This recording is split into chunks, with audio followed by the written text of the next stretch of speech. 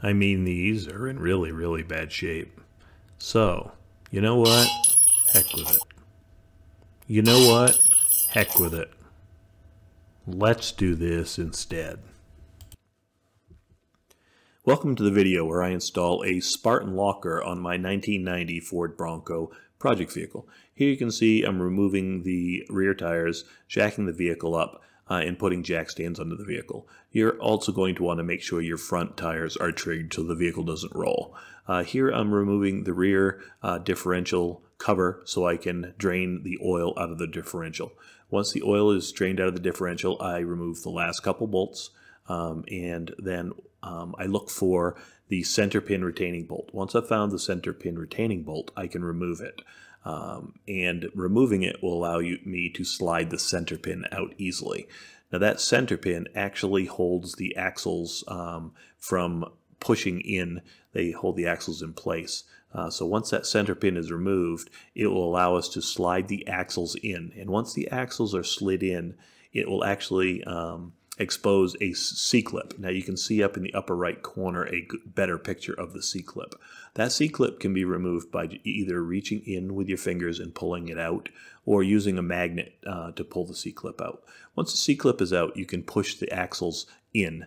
Um, once the axles are pushed in, that will allow us to rotate um, the side gears and remove the top and bottom spur gears. Uh, once those spur gears are removed, you're going to want to look around for the spacers. Now the spacers are sort of a concave uh, washer um, and there will be one on the top and one on the bottom. We will not be using those for the, this install.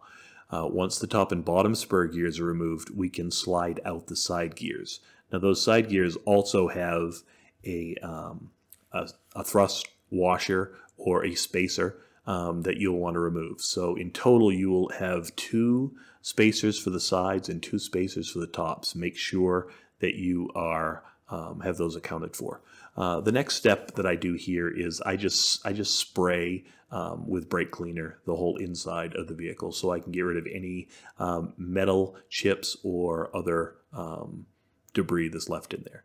Uh, so here is the Spartan kit. Uh, so the Spartan kit, um, the instructions are not very good. Um, the kit is a very quality kit, but honestly, my instructions um, didn't have anything for the eight by um, the 8.8 rear end in it, uh, so it made installation a little bit tricky. So please follow these instructions, um, and hopefully this will help you out. Uh, so what you end up doing is you take the uh, little pins and you put a spring inside each little pin and you will um, install them in the holes uh, and those are actually the center couplings uh, right there. So then you will push them down with your finger and slide in the, um, the these little small dowel pins uh, in, and that holds those pins down um, so you can install this. Um, so one of the things that this kit did not tell me to do was to cut these pins down so they were very short. Um, and that will help you with the install. Once the differential is uh, nice and clean, uh, what you can do is install your side couplings uh, from the kit. Uh, so what you'll end up doing is having the axle sticking in a little bit uh, and you'll line up your um, splines and push them in place. You'll push them all the way in so they're right up against the housing. Um, and then once they're in place, you'll see the axle uh, sticking out. Um, so if the axle isn't sticking out, you'll have to go to the outside of the vehicle and push the axle in. Uh, and this is when we're going to install the C-clip on the side of the differential towards your ring gear. Uh, and you're only going to install that one C-clip uh, because if you install the second one, you won't be able to get it together. Uh, over on the inset, up in the upper right hand corner, you'll see how you put in that round disc inside that side coupler. Uh, then you'll slide the side coupler in um, on the side towards the ring gear, uh, making sure that those splines line up between the inner coupling and the side coupling. Uh, then you'll do the same thing with the uh, side opposite the ring gear. Once the two inner couplings are in place um, and kind of lined up with the teeth on the outer couplings, um, you can rotate the left and right side until uh, the center pin hole on both inner couplings uh, sort of line up. Uh, now it's time to pull out those pins, and when you pull the pins out, the springs will push those uh, um, pins out, and they will they will line up everything and lock the two inner couplings together.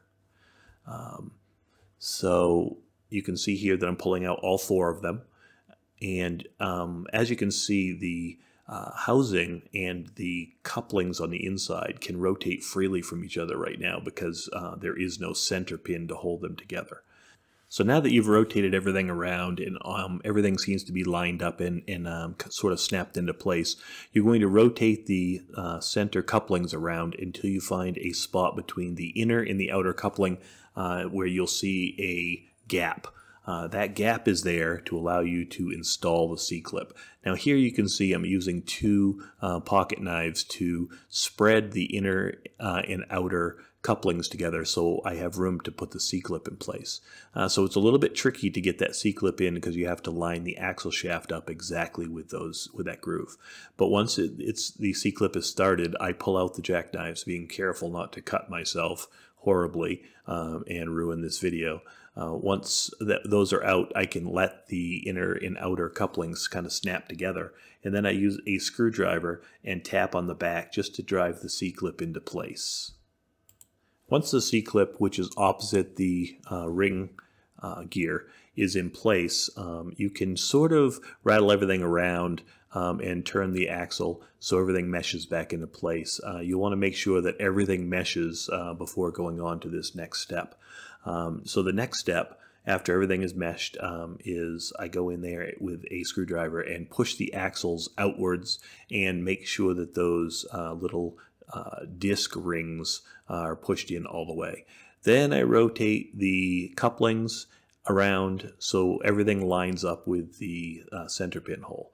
Then I take the new center pin hole that comes with the kit and I slide it in place. Now you will have to move things around a little bit just to get everything to slide into place. But once it slides into place, uh, you are ready to put the uh, center pin retaining bolt in place. That center pin retaining bolt does have Loctite uh, installed on it. Um, so as long as you can see a little bit of red on the threads, you're all set to tighten that up. Um, so here I'm just looking at the install and there you can see the gap between the inner and the outer coupling uh, right there to put the C-clip in place. Um, and now I'm moving them back and forth to show how the gears sort of um, compress and slip past each other when you're turning a tight circle uh, when you're on asphalt. Um, so, like I said, this is a beautiful kit. Uh, the kit itself, the, the workmanship is fantastic, um, and everything fits together beautifully. The only issue that I had was the fact that the instruction manual didn't seem to go with the kit. Um, so here you can see I'm tightening up the center pin uh, retaining bolt, um, which is almost the last step. Once that retaining bolt is tightened and in place, you can uh, go ahead and put on your gasket and your rear differential uh, cover and you're completely done. Uh, now this um, Spartan locker is very nice. Um, some other people call them lunchbox lockers, but one way or another, it's a little noisy when you turn uh, sharp on asphalt. But other than that, the traction that you get is fantastic. So thank you very much for joining me for this video and goodbye.